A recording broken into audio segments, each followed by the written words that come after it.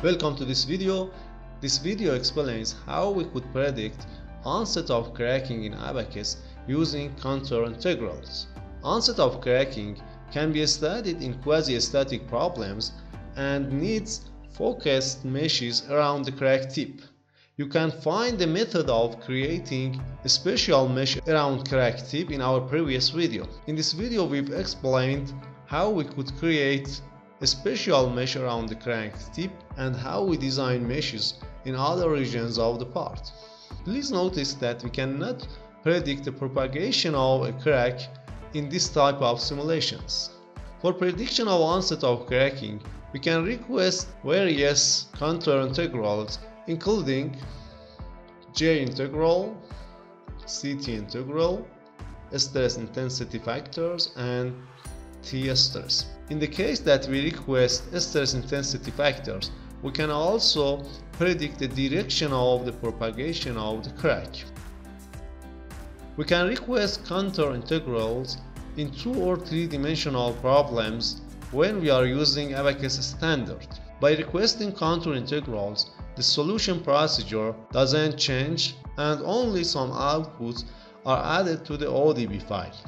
The J integral is a parameter that is widely accepted as a quasi-static indicator of onset of cracking in linear problems. Also this parameter can be used in nonlinear material with some limitations. The J integral is used in rate-independent problems and characterize the energy release associated with crack growth as you can see in this formula. Also this parameter can be related to stress intensity factors in linear problems. The J integral should be independent of the path or domain of calculation. Sometimes in our simulation we can see a slight difference for different paths. The slight difference is acceptable because of the approximate nature of the finite element solution. But a strong variation in J integral, which called domain dependency or contour dependency, indicates an error in the contour integral definition. Gradual variation in this parameter may indicate that we should use a finer mesh for the problem or the contour integral domain doesn't completely include the plastic zone. In problems which include time-dependent creep behavior, we can use CT integral as an alternative for J integral. We can also request stress intensity factors for various modes of crack loading in the Abaqus software. They are known as K1, K2 and K3 related to different modes of crack loading. When we request a stress intensity factor, we can also predict crack propagation direction. There are three criteria in the Abaqus to predict the direction of crack propagation. In the first criterion, it is assumed that the crack propagates in the direction that the maximum tangential stress happens. We can use this formula based on K1 and K2 to calculate the angle between the crack propagation direction and the crack plane. In the next criterion, it is assumed that the crack propagates in a direction that the maximum energy release rate happens. And in the last criterion, crack propagates in the direction that K2 is equal to 0. Finally, we can also request T stress in a quasi-static analysis of a crack.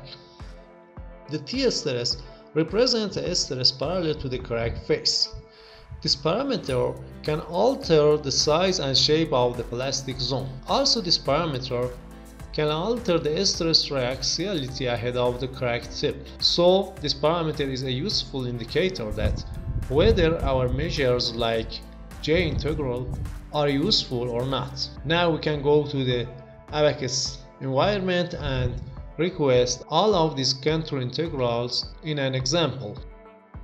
In our previous video, we have explained how we can create a special mesh around crack and also how to control mesh in remained regions of the part. Now we request all the contour integral in this video. We have requested J integral in our previous video by 5 contours. Now we add the T stress contour by picking crack and also setting the number of contours to be 5. Please notice that CT integral only can be used for problems with creep behavior. The next step, we request k factors.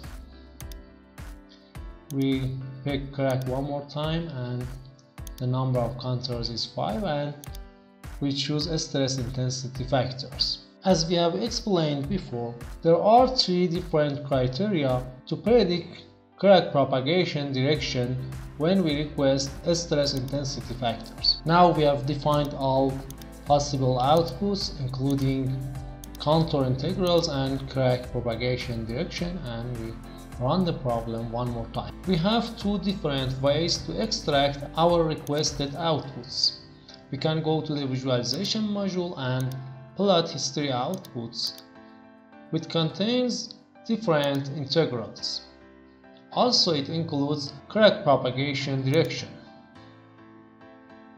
We can find K1, K2 and T stress and J integral in history output. Another way is to use DAT file.